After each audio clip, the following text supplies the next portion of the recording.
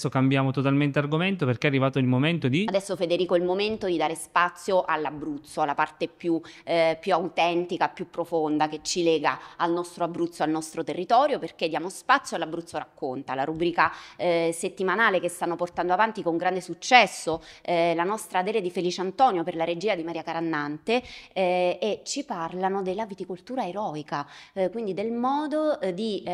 di, fare vino tramite la coltivazione dell'uva di montagna da parte dell'associazione I Grignetti che stanno riscoprendo un po' la tradizione e i vitini autoctoni che, che ci legano un po' al passato, quindi è una forma di resistenza e di resilienza legata al territorio.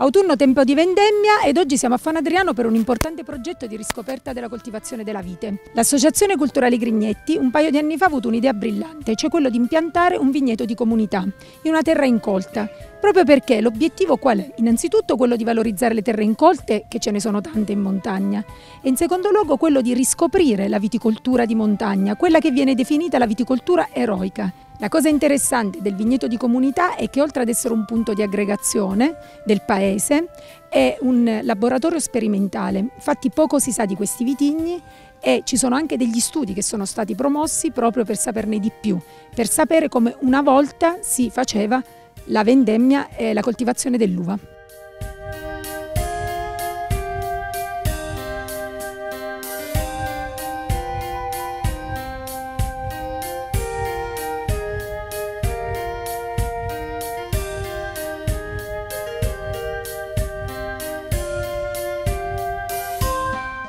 Siamo con Carlo Di Bonaventura che nella vita è un neurologo ma oggi si presenta nella veste di membro del, dell'Associazione dei Grignetti. Un paio di anni fa sono venuta e la vigna praticamente era stata appena piantata. Oggi si vedono i frutti di quello che è questo laboratorio, più che una vigna, un laboratorio di sperimentazione dove avete piantato una serie di vitigni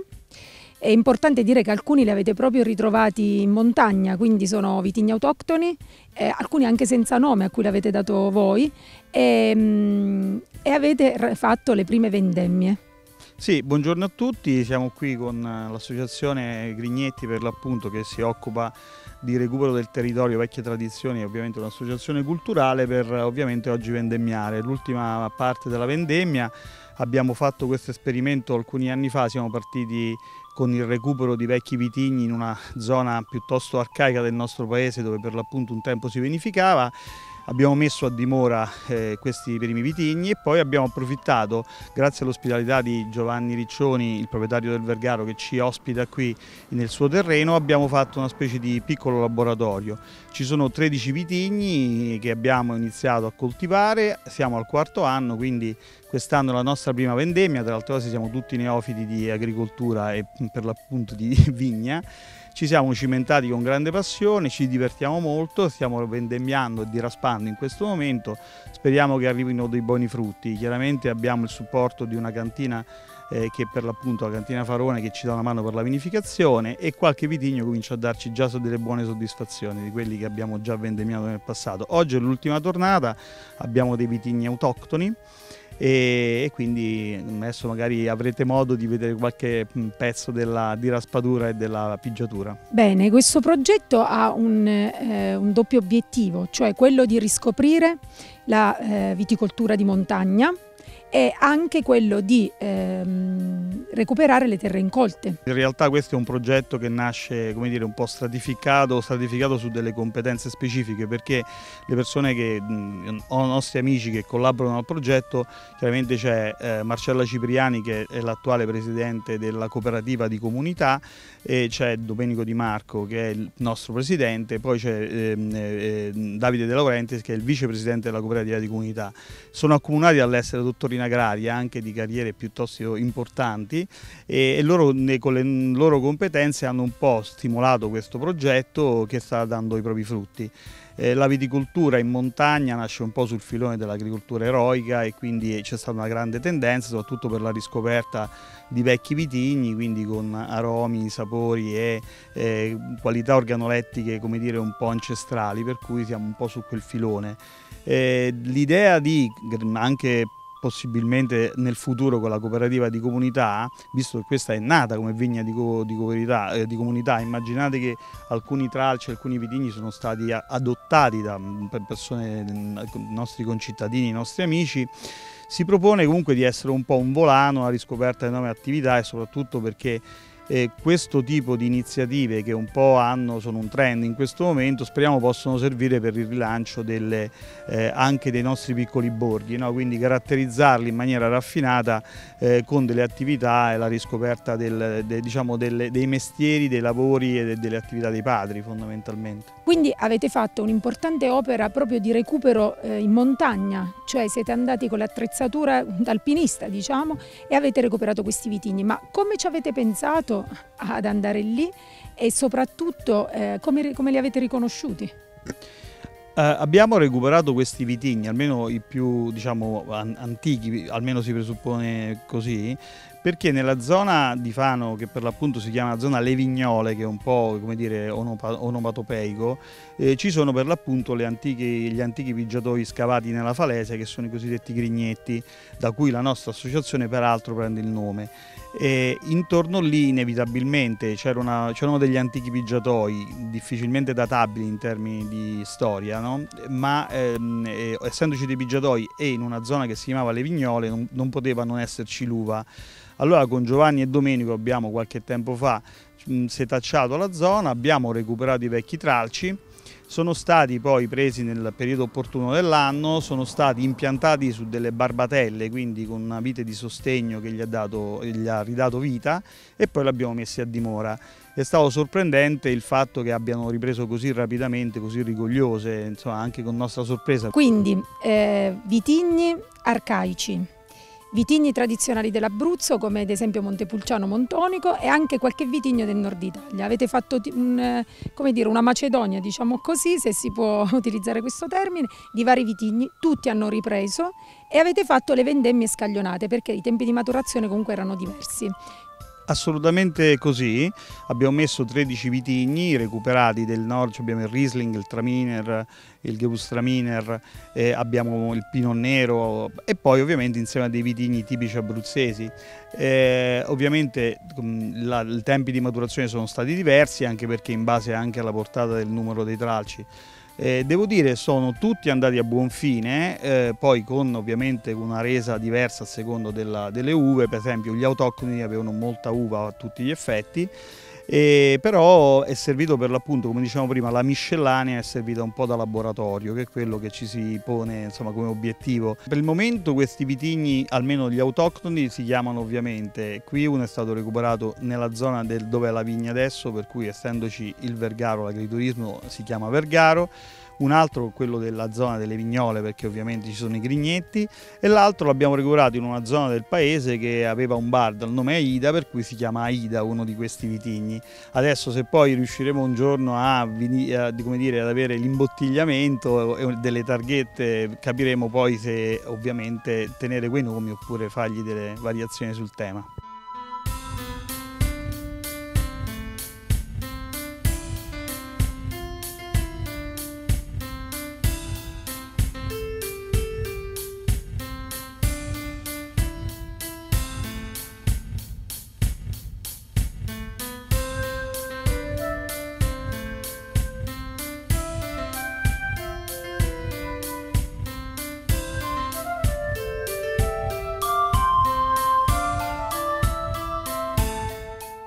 Siamo in uno dei grigni, queste vasche scavate nella falesia che venivano utilizzate per la vendemmia e ci troviamo proprio nella zona delle vignole dove c'era la coltivazione delle viti, vicino al, eh, all'avena rossa. Dottore, quanti grigni ci sono e soprattutto a quanto risalgono queste, queste vasche? Allora, questi sono per l'appunto i cosiddetti grignetti dove veniva vinificato un tempo e si trovano nel blocco tra virgolette di Falesia che va sotto il nome di Vena Rossa avete visto salendo che ci sono delle persone che stanno arrampicando per l'appunto perché l'esposizione e la compattezza della roccia predispone per l'appunto all'arrampicata sportiva. E questo è il grignetto maggiore e dove per l'appunto veniva verificato sono a tutti gli effetti degli antichi pigiatoi, la cui datazione è piuttosto eh, complessa, nel senso per, secondo alcuni potrebbero essere di origine preistorica, molto più verosimile che, lo, che sia di, invece di periodo medievale. E in questa zona, proprio a, come documentato da questi grignetti, eh, c'è la zona delle vignole dove per l'appunto veniva un tempo coltivata la vite e quindi avete visto il, pendio piuttosto scosceso, quindi era a tutti gli effetti agricoltura e viticoltura eroica e, e queste vasche quindi indicano che venivano abbigiate automaticamente in questi posti qui. Eh, non abbiamo grandissime tracce storiche di questo posto, in alto c'è la Grotta delle Fate che oggi non vedremo, che è, probabilmente fungeva da ricovero per eh, gli agricoltori di un tempo. E ehm, in zona qui è dove abbiamo recuperato per l'appunto i, i, i, vitigni che avete visto stamattina, li abbiamo recuperati in questa zona, soprattutto quello che noi abbiamo poi chiamato le vignole, dando il, il nome al vitigno della zona e sperando come dire, di comprendere un po' di più non solo il tipo di vitigno ma anche la tipologia ma anche e soprattutto la datazione e la genetica, quello è la cosa piuttosto importante. E I grignetti in realtà sono due meglio conservati, dovrebbero essere in realtà tre, eh, però sono particolarmente suggestivi, tanto suggestivi che sono dei luoghi abbastanza identitari per chi è di, di Fanadriano e tanto da aver dato per l'appunto il nome stesso alla nostra associazione che si chiama per l'appunto Associazione Culturale Dignetti. Qua siamo a una bella altitudine e considerando anche gli inverni del passato ci faceva freddo, quindi queste viti resistevano a queste temperature. È molto probabile che eh, le viti del passato avessero una buona resilienza dal punto di vista ambientale e naturalistico, perché chiaramente, ma già dove avete visto la vigna siamo già a 7,50 d'altezza quindi probabilmente era un vitigno che geneticamente si è poi selezionato per resistere a buone temperature durante l'inverno, anche quando qui gli inverni erano più freddi. Eh, Ma qui quando, a quanto siamo? Ma qui saremo a 8,50 più o meno, tra gli 8 e gli 8,50 perché Fano, partiamo dai 7,50 di Fano, anche se i metri sul livello del mare sono, rendono poco la, la, diciamo, l'asprezza del territorio perché ovviamente essendo noi immediatamente sotto il, il Gran Sasso il clima, non, non solo macro ma anche il microclima è un po' diverso chiaramente. È un inverno vero qua, soprattutto un tempo erano inverni veri. I grigni sono presenti solo in questa zona? Ah, questa è una buona domanda. Sicuramente questo, nel nostro territorio proprio, credo proprio di sì. Eh, credo che qualcosa di simile sia nel Chietino, eh, però diciamo tra virgolette sia dal punto di vista storico, archeologico e come dire antropologico in realtà eh, sono stati molto poco studiati perché a tutti gli effetti le fonti qui sono piuttosto eh, fragili per cui in realtà è quasi eh, tutto agganciato per quanto riguarda la derivazione e la datazione a, dire, alla nostra tradizione orale, per cui è molto difficile. Uno studio geologico forse aiuterebbe e speriamo di farlo prima o poi, chiaramente va fatto uno studio molto importante perché per questioni di messa in sicurezza molto si conosce sulla falesia, eh, incluso il suo colore tra virgolette rosso per i depositi ferrosi che si sono stratificati nel corso degli anni. Molto poco invece si conosce sulla parte più squisitamente antropologica dei Grignetti che sarebbe bello indagare.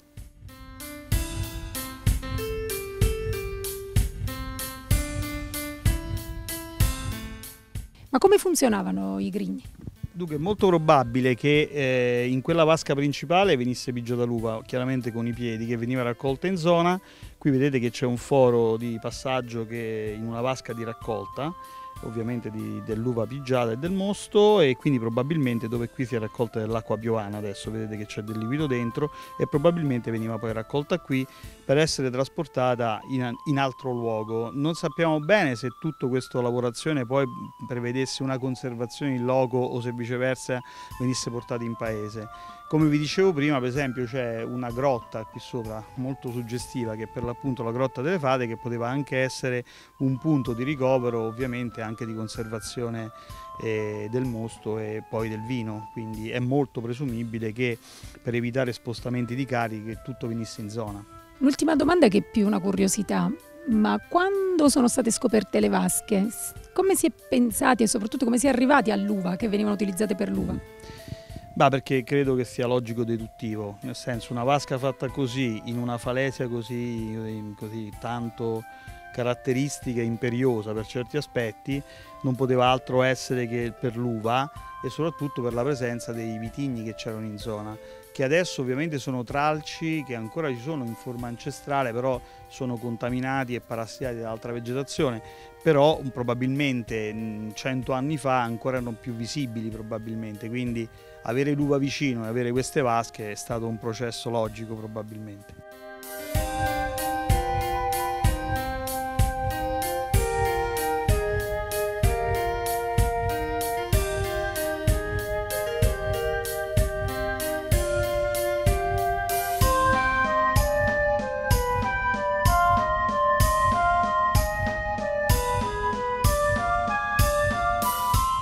Una vendemmia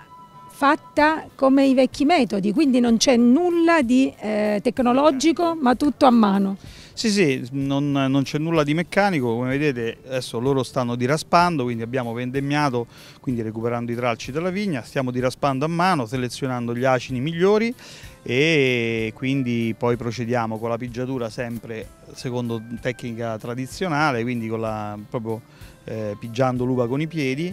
e, e poi ovviamente procederà la, la vinificazione. Ma oggi che uva si vendemmia? Dunque le uva che vedete sono quelle autoctone perché abbiamo uh, un'uva che è per l'appunto il Vergaro, cioè quello che ci ospita in questa zona. Questa? Esatto, no questa si chiama Aida, è un'altra uva che però è sempre uno dei tre vitigni locali. Quindi oggi eh, Vergaro e Aida? Esatto, oggi stiamo tra virgolette vendemmiando queste uve che sono un po' in ritardo rispetto agli altri vitigni che abbiamo già fatto in tre tornate precedenti e diversificando ovviamente la produzione. Una parte di questa uva eh, fino adesso raccolta, ma anche questa, eh, una partizione la stiamo dando anche all'università per eh, come dire, microvinificazione, un po' conoscere meglio anche gli aspetti un pochino più, diciamo, le caratteristiche oltre che organolettiche un pochino più biologiche della, de, di questi vecchi tracci, speriamo anche di arrivare ad un esame genetico che ci faccia non solo eh, definisca al di là dell'analisi ampelografica definisca che tipo di vitigno è, ma anche e soprattutto la datazione che a noi piacerebbe molto. Giusto, perché voi comunque eh, conoscete pochissimo di queste, di queste tre uve. Non conosciamo praticamente nulla. Eh, sappiamo che sono eh, vitigni eh, che sono stati nel passato coltivati ma mantenendo delle caratteristiche abbastanza sel selvagge, arcaiche, per cui siamo piuttosto curiosi anche della datazione del vitigno stesso. La cosa bella di questa associazione è che i componenti sono tutti originari di Fano, ma molti per lavoro sono fuori a Roma e tornano nel weekend per portarla avanti. Sì, beh, siamo un'associazione piuttosto composita, chiaramente molti di noi sono fuori per lavoro, però siamo tutti molto legati al nostro paese e quindi quelli che tu vedi operare qui in Vigna sono anche quelli che in grossa parte fanno, dire, sono parte integrante dell'amministrazione, della Proloco e per l'appunto dell'associazione Grignetti. Cerchiamo come dire, di dare il massimo per il nostro paese il nostro comune, il nostro territorio, per la speranza come dire, di trovare anche quelle energie vitali che un, magari un giorno possono come dire, eh, dare nuova vita ai nostri borghi e, a, e dire, alla nostra storia, quindi un po' alla memoria, lavoriamo su quello.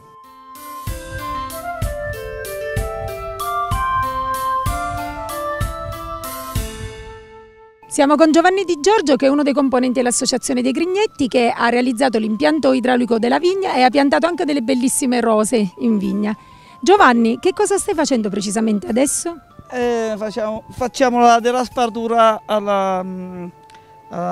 ecco, ai nasi. Secondo la vecchia tradizione? Secondo la vecchia tradizione, sì. Poi quindi una volta che adesso selezionate tutti gli acini, dopo li, li pigerete? Sì, sì, sì, certo, mettiamo in bigiatura, sì. Appena fatto tutto mettiamo in bigiatura.